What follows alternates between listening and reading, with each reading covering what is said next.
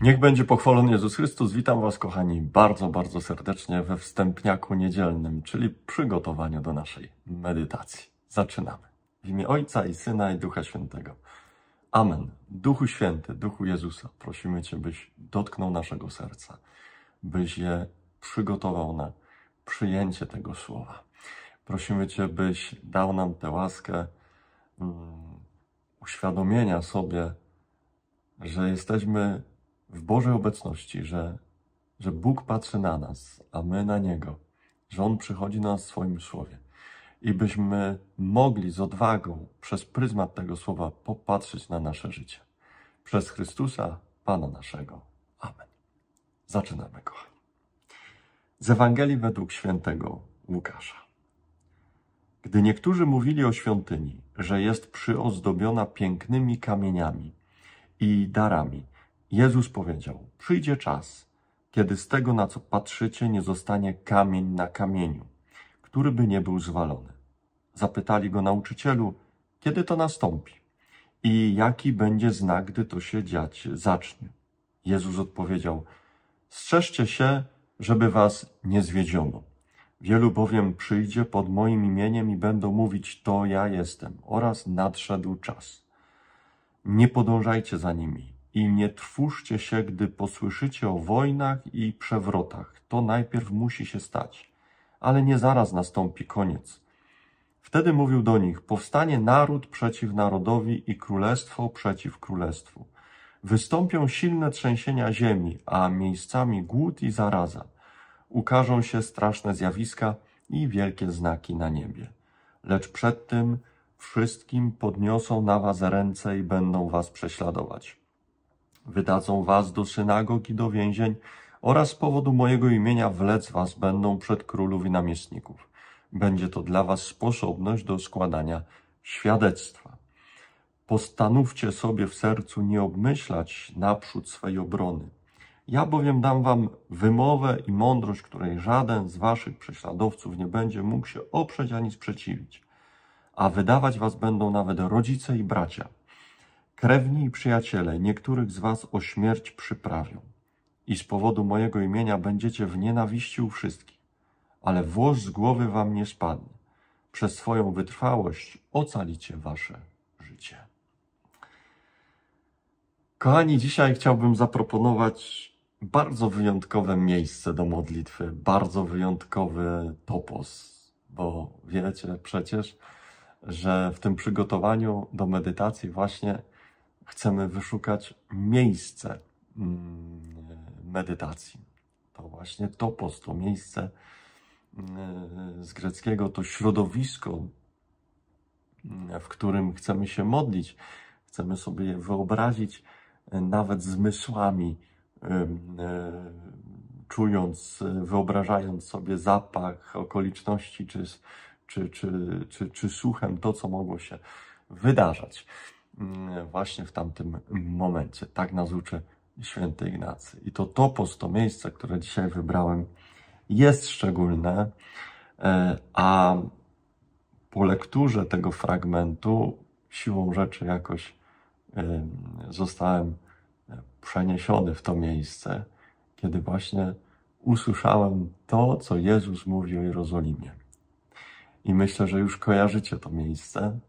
Ono to, to, to, to miejsce było szczególnie obecne dwa rozdziały wcześniej w naszej medytacji. To miejsce, z którego Jezus zapłakał nad Jerozolimą. Żeby widzieć i patrzeć na świątynię i żeby móc sobie wyobrazić to, że nie zostanie tutaj kamień na kamieniu, to apostołowie z Jezusem musieli być znowu na Górze Oliwnej albo schodzić z tej Góry Oliwnej. I to jest to miejsce, z którego chciałbym Was zaprosić do medytacji. E, oczywiście, kiedy, jeśli byliście w Ziemi Świętej, to dobrze wiecie, jaki widok rozpościera się z Góry Oliwnej, ale jeśli nie wiecie, to wystarczy wyszukiwarkę internetową wpisać Jerozolima i wszystkie zdjęcia, które zobaczycie, szczególnie tych dwóch meczetów, z tą brązową i złotą kopułą właśnie są robione z góry oliwnej. I to miejsce chcę Wam dzisiaj zaproponować do medytacji z kilku względów. Po pierwsze, to jest miejsce, z którego właśnie widać było bardzo dobrze świątynię jerozolimską i trudno sobie było wyobrazić to, co Jezus mówił, że nie zostanie z niej kamień na kamieniu.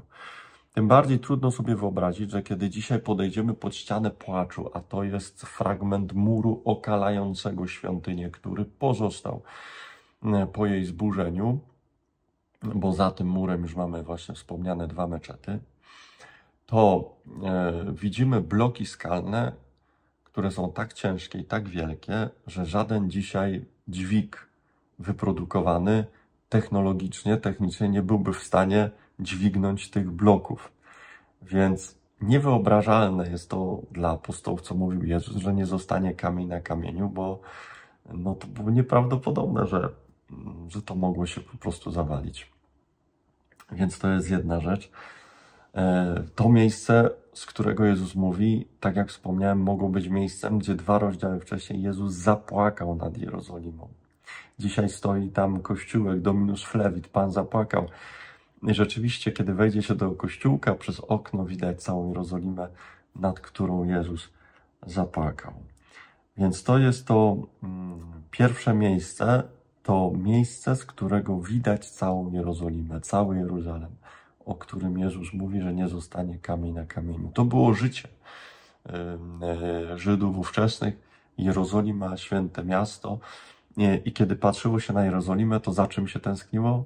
Za nowym Jeruzalem, za Jeruzalem niebieskim. To było to odniesienie, e, by zatęsknić za niebem. I to jest drugie miejsce, można by powiedzieć, czy drugi, druga sposobność do medytacji, to ta tęsknota za niebem, która budzi się w każdym, kto e, z Góry Oliwnej patrzy na Jeruzalem. Na Górze Oliwnej też jest takie miejsce, którym jest cmentarz.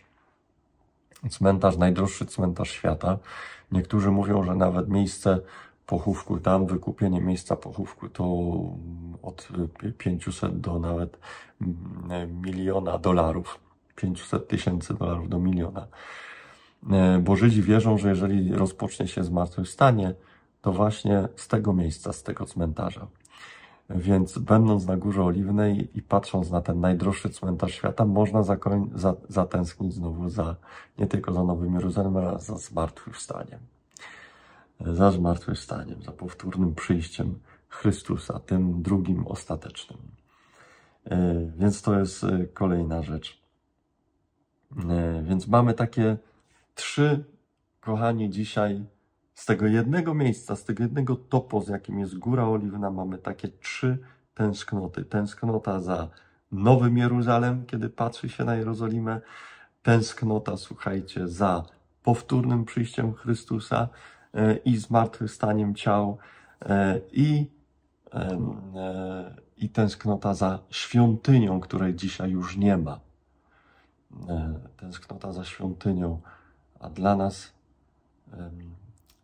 może tęsknota za każdym, za, za, za utraconą świątynią, za każdym razem, kiedy popełniamy grzech ciężki, tracimy łaskę uświęcającą, to możemy zatęsknić za tą świątynią wnętrza, e, która na ten moment jest burzona przez doświadczenie grzechu. Pięknej medytacji Wam życzę, niech nas szczerze i błogosławi Bóg Wszechmogący, Ojciec i Syn Duch Święty. Amen i do zobaczenia, do usłyszenia już w jednym słowie w poniedziałek.